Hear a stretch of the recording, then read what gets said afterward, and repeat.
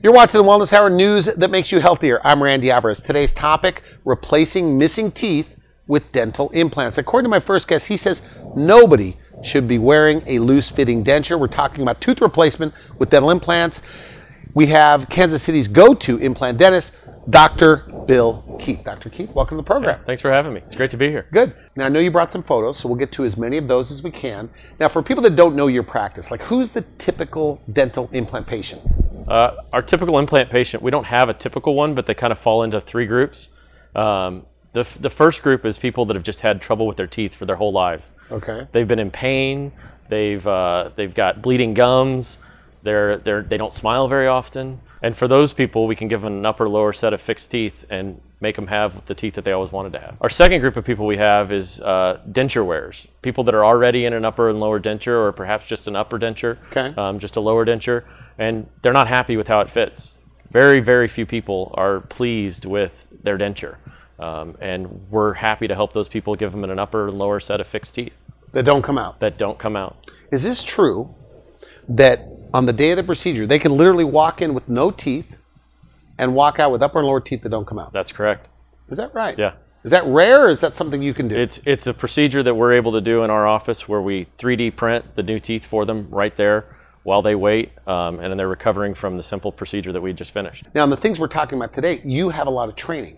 and correct. we were talking in the green room. I mean, you travel all over, all over the U.S. in some cases to learn this. Is there that much to it? This isn't a procedure that you just learn in dental school. Um, Okay. it's it's one that takes a good amount of advanced training, one that uh, takes hours of study, both understanding the concepts and then physically doing it. So I've traveled around the country to learn, but then also I teach how to do the procedure now as well. And we're talking about replacing missing teeth with dental implants. Are there a lot of people like wearing dentures, headed for dentures where you are in, Kansas City? in the Kansas City area, Kansas and Missouri, you know, we could have as many as 50, 60,000 people, probably more than that, that are currently wearing dentures. And then really? hundreds of thousands of people that, that are headed for dentures or, or will be there eventually. So if there's that many people either headed to a denture or wearing a denture, why aren't they all doing this? Why aren't they coming in to get a fixed set of teeth, a full arch of teeth that don't come out? What's your take? So our current denture wearers, they're, they're out of the dental system. Okay. They, they've got their dentures, they're not happy with them, but they're not going to the dentist regularly to, to even find out that this is an option. So Okay. we're here to explain to them that, that it likely is an option and something that, that we can do for them and get them that set of fixed teeth. So if you're wearing a denture, you've been in the dental system for years. You grew up as a child, maybe didn't go to the dentist as often as you should have as a kid. You started having pain, you started losing teeth.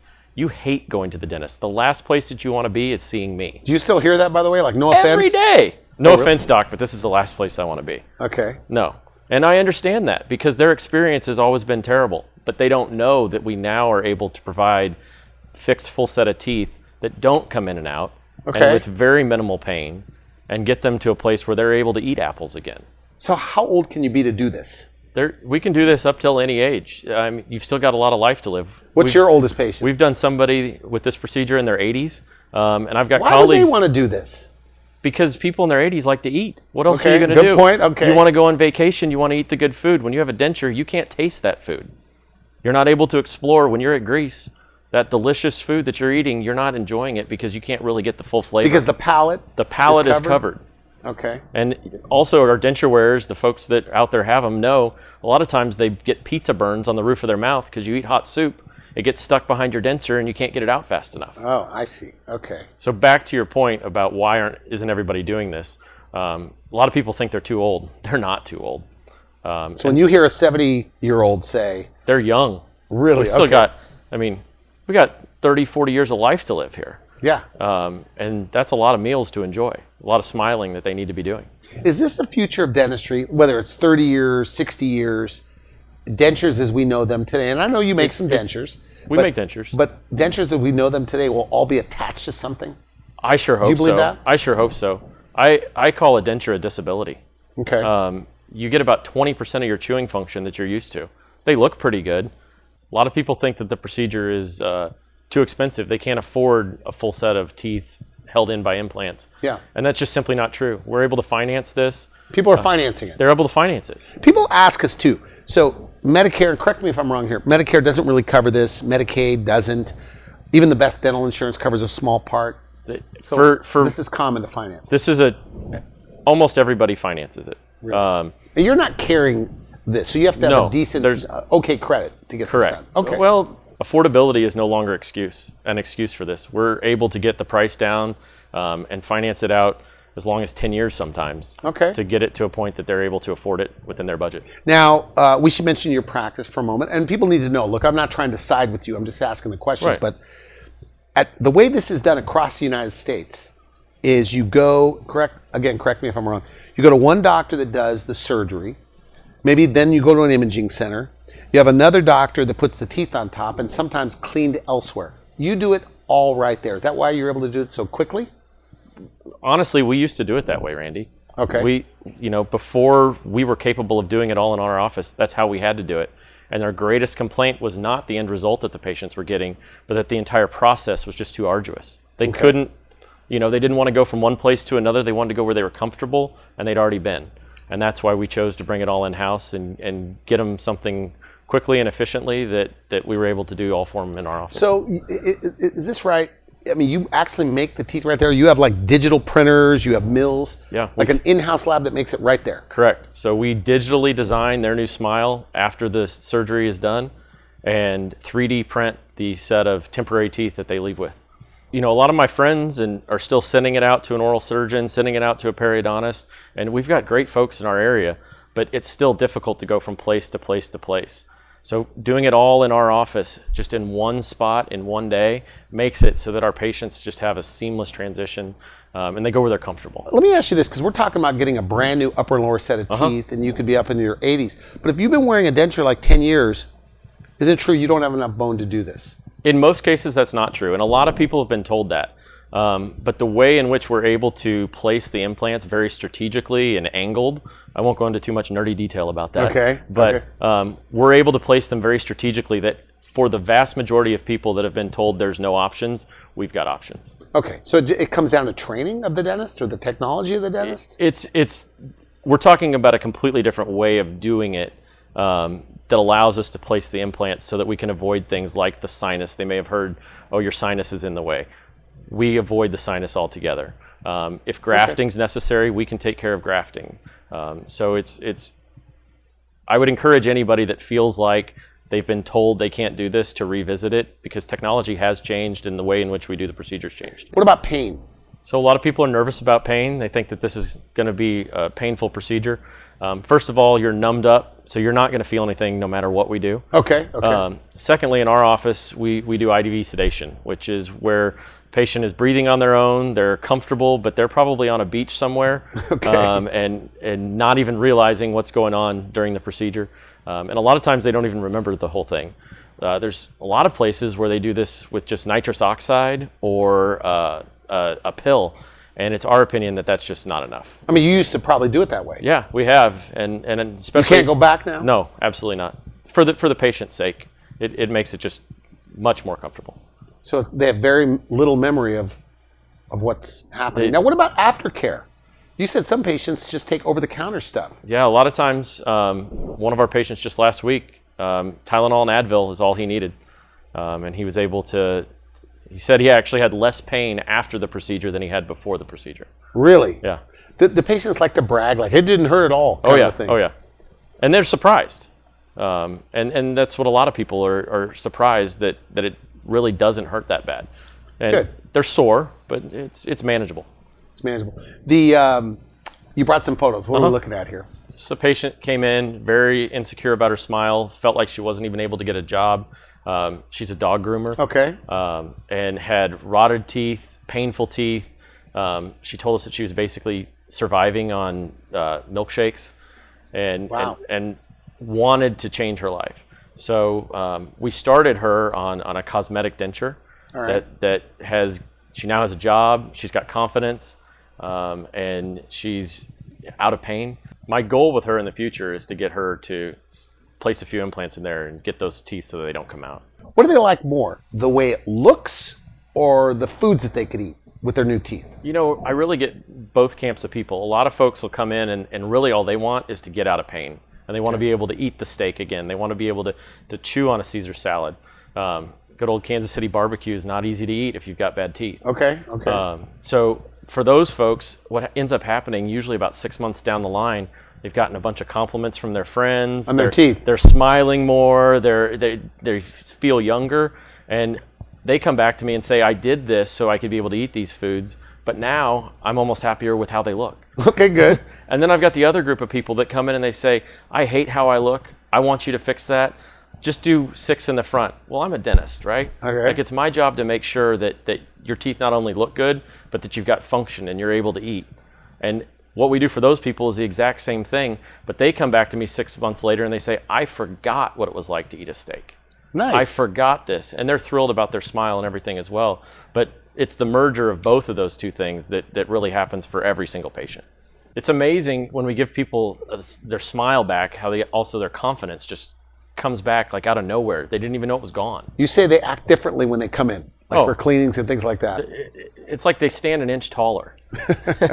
Okay. they you know you can see them just just walk in with with a, a level of confidence they walk off the elevator and, and it's hello how are you instead of perhaps being a little bit reserved before and it's not just because i'm a dentist that i feel like the smile is important statistically when people talk about attractiveness the smile is always one or two what people remember about their loved ones it's usually one or two there's a Yeah. picture floating around Facebook that maybe you've seen where somebody's missing an eyebrow and nobody notices it because they were missing a front tooth. Yeah, I've seen that. Yeah. And it's unreal. I didn't even notice it at first as a dentist. You see the tooth, and that's what mat- matters to, to most people. Perfect example of why a smile is so important is we had a young lady come in um, missing several front teeth, and she had been told by three different places that they would not hire her. Never said it was the smile, of course, but she felt like that was the case. We gave her um, new teeth, and she got a job at the very next interview that she went to. No other changes other than her smile. So was it the teeth or her confidence? Probably. I believe what's it was attractive. both. I think it's both. Okay.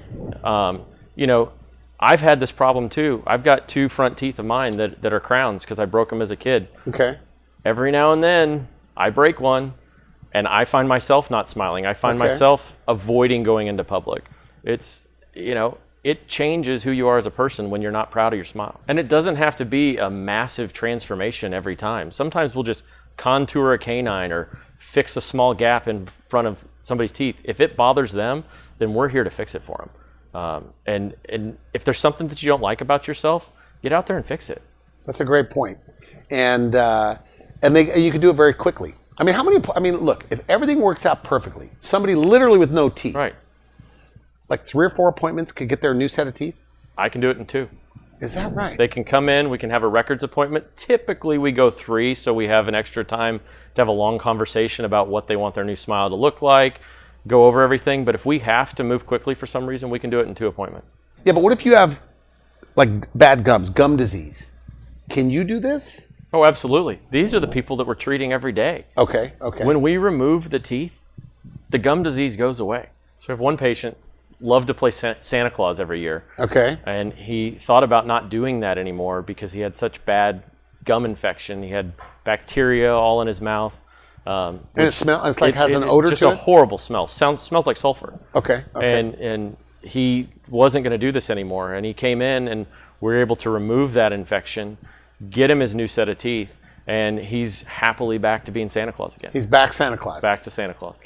So are, are there a lot of people like that that that this have really bad gums and they think they can't do this? That's the most Because of their common reason that I hear that I can't do this is, well, I have gum disease. The implants will fall out just like my teeth. Is this one of those things where they kind of do it together, like partners, uh, husband and wife, gets it done? Well, you know, usually the, the wife will be the person that will finally come in and, and take care of it, while the husband's stubbornly sitting at home. But um, soon after, they'll realize how great her teeth are and how wonderful her new smile is, and that she's eating all the things that she wants to eat. She's biting into the apples, eating the corn on the cob, and the husband will come in later and decide, okay, I'll do it. Yeah. So I mean, because if you're going to retire, I guess you want to taste the food. Right. I mean, do these really like people with bad teeth? Do they really have a tough time eating? Oh, Is it the pain, or they feel like their teeth are going to come out?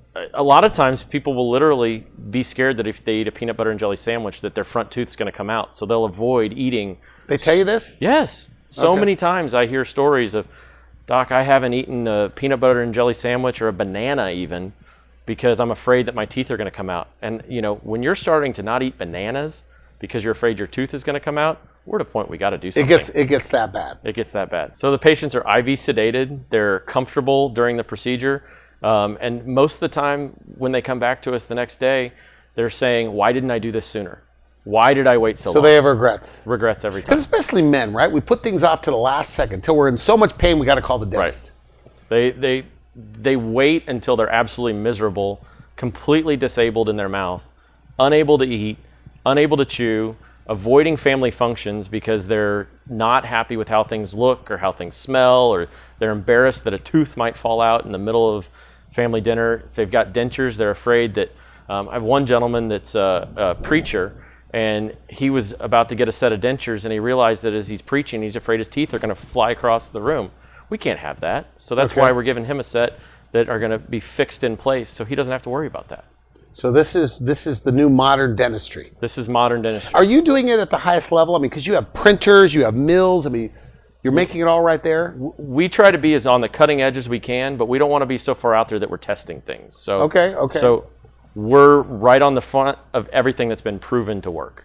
Do some of the patients say, "Doctor, you've changed my life"? And uh, you know, we hear that every day, and it's flattering to hear that. They say it. But oh, of course.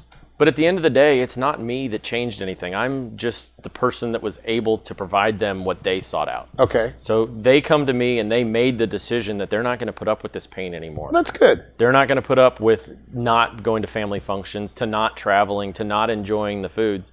They've decided that they're going to make the change. So, you know, I am honored when they say that to me, but it's really the patient that's made the decision. That's good. Now I know a couple denture wearers. They never complain.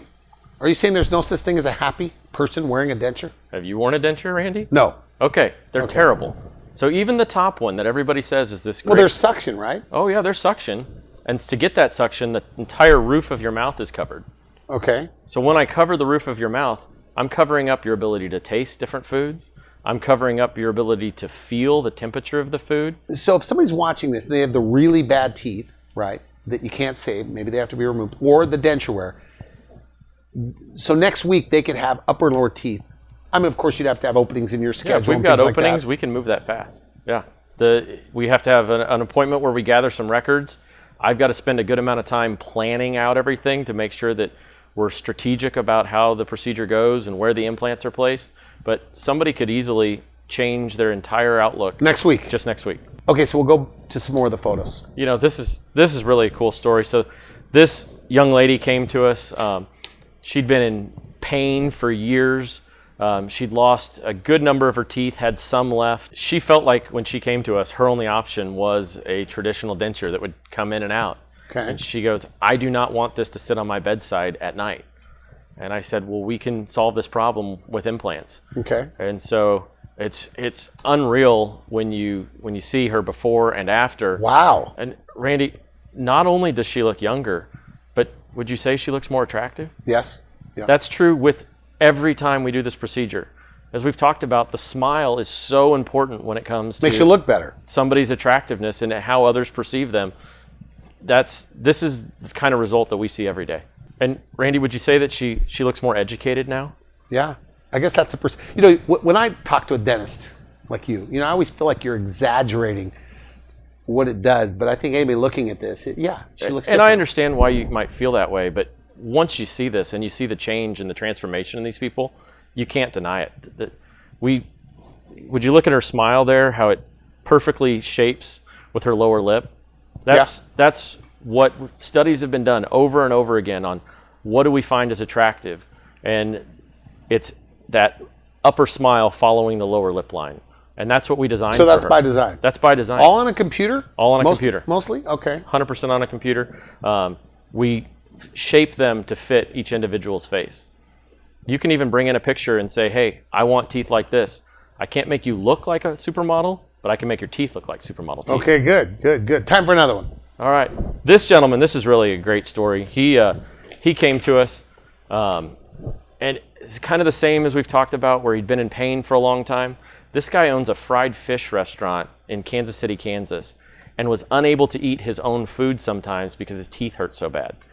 he'd put off for decades to get this taken care of. His brother is actually a denture fabricator that, Okay. that we use in our office and helps make dentures. And he'd said, I do not want to have dentures. So we worked with him to give him this brand new smile. And again, you can see on the just the confidence level. So these are upper and lower new teeth supported by and lo- implants. upper and lower new teeth supported by implants. Um, and what's crazy is the after picture that you see here is actually the day after surgery. We're going to replace those teeth with a permanent set in six months, but that's the day after surgery where he looked at that Those good. don't come in and out right there. they do not come in and out. Is he glad he didn't take his brother's advice, I guess, to get a denture? Well, his brother's the one that brought him to us and said, "Hey, man, I don't even want you to have a denture." The guy that makes dentures didn't want a denture for his own brother. And so he can eat whatever he wants now. He he can eat His own seafood. once he's fully healed from the procedure, which takes some time, but he can eat his own seafood. He ate that right away. He can eat steak. He can bite into apples. He can have How soon can you eat after this? You can eat right away. We do ask you to take it easy. Okay. Um, the implants have to integrate into your bones, so that takes time. What about nuts, like like uh, like almonds? Once we give you the go ahead, you can eat almonds. You can eat nuts. What about biting a carrot with your front teeth? Or do you have to stay away from that? You can go right, and they don't have to be cooked. You can do a Okay. raw carrot Do right they- out of the ground. What about salads? They say that denture wearers have a very, or people with That's bad one of teeth, the biggest salads are complaints I tough. get is that you know, like a Caesar salad is very difficult to eat because that grinding, gnawing motion is impossible with a denture. You can eat anything you want. Okay, we're going to take a quick break. We come back. More about the process. You're watching the Wellness Hour news that makes you healthier. I'm Randy Alvarez. We'll be right back. Well, I'm here at Dr. Keith's office, and I am uh, starting a process from my old teeth to my new teeth, and I'm glad I did this because the years I've had this, this, this, this done, and never, it's always going downhill. So Dr. Keith taught me to get implants, and I'm glad I did it. And it was uh, it's been a process, but it's a good process for me. Another thing is that uh, my smile, I can smile now. I don't have crooked teeth anymore, and I can eat what I want. And it's just been a joyride for me. That's just the temporary. Isn't that beautiful? Yes. Good job, everybody. Yeah. That's awesome. That's incredible. Thank you. Man, that's perfect. That's, this looks great. Cool. Yes, it is. Fantastic. You're watching the Wellness Hour news that makes you healthier. I'm Randy Alvarez. Today's topic tooth replacement with dental implants. According to my first guest, he says nobody should be wearing a loose fitting denture. With us, we have Kansas City's uh, go to implant dentist, Dr. Bill Keith. Now, um, so if somebody goes to you, there are the two categories. They have really bad teeth and gums right now and can't save the teeth, they have to be removed, Right. or the denture wear. What are the options in your practice as far as dental implants? So we're, you know, for both groups of people, it's really the same grouping of options. We have a traditional denture, which our denture wearers will already know is not a good option. Okay. Um, it's very difficult to chew. Things can want to come out. Um, so w- we always try to encourage somebody to go towards implants because it, it, Okay. it gives us something to fix the teeth onto. All right. Um, the the most basic option that we have is where we just take a couple implants, we put them on the bottom, um, and on the bottom your teeth rock around a lot because we don't have that suction. So it's like a on the snap top. in, snap out. It snaps in, snaps out, um, but they still rest on the your gum tissue there. So these folks get a lot of sore spots because they Okay. move a lot. Um, they find that they can chew better than if they didn't have the implants, but it's still not an ideal solution. It's it's our it's one step better. Um, Than a regular denture. than a regular denture, but it's not where most people find themselves really happy. Um, the, the final step that we have is where we take four to six implants on each top and bottom, and we fix those teeth in place. They are screwed in place. I can take them out at my office if we need to for some reason, but they never come out at the patient's home. They're able to eat the foods that they want. They're able to. and then the, the upper, though, the same upper. kind of thing, the palate is removed. the palate's removed. Okay. There's nothing on the palate. They uh, so they're able to to eat those foods and, and feel them. They don't have that annoying thing up there. For some people, um, maybe they are a gagger. It's hard. A lot of times when people get a denture, they they find Oh, that it makes yeah. them want to gag. Um, we don't have that problem with this. and they can just eat whatever. Do they ever call you and say, "Doc, are you sure I'm ready to start eating some pretty chewy things?" That, that's usually one of the things is they, they get nervous when I say, you know, you can go ahead and, and eat any food that you want. I'll ask them not to do things like chew on ice, but we're not supposed to do that with our natural teeth either. Okay. Um, but they can eat anything that they want, and and they're shocked by this. You know, they'll say, "Okay, you say anything, but can I eat nuts?" And I said, "I said anything." I mean, one of the things that is so incredible. I mean, we're in Kansas City. We have the best barbecue in the world. Okay. And I had a patient come back in, and he goes, "Doc, I didn't even know that I could eat ribs off the bone again." He'd been to Oklahoma Joe's barbecue, and he was just gnawing the ribs, and he goes, "I thought I'd have to eat those with knife and fork for the rest of my life, but." There I was, and he goes, I, I ate the whole slab. So, what about maintenance? I want to ask you about that. Uh, is it just they come in for checkups and cleanings, just like regular teeth? Just like regular teeth, they come in. Um, we have them see the hygienist and the doctor, take X-rays, make sure that everything's healthy. We clean under the gums just like we do with regular teeth, um, and just make sure that they're maintaining the teeth uh, as best as possible, keep them healthy Do they ever say like, "This is better than my original teeth"? all the time. Is that right? You know, one of the greatest advantages of these teeth is they don't get cavities. So you know, your natural teeth are susceptible to cavities. These, they don't get cavities. You just have to take care of them, like like you. You have to take care of the gums and the tissue around them. Uh, basic things like brushing your teeth and using a water pick, which all of our patients can handle, um, keep really keeps things healthy. We're out of time. So, final message to the two groups of patients you're talking about. They have really, really bad teeth, and they know they don't want a denture or the current denture wears. They've heard what you have to say, but they're still skeptical. What do you say to them? I understand being skeptical. I mean, half of us are in the show me state, but Okay. just come in and, and sit down with us for a free consultation and let us kind of show you what we're able to do and see if you'd be a good candidate for this. All right, no more dentures. Do you think you you can wipe them out in your state? I sure hope so.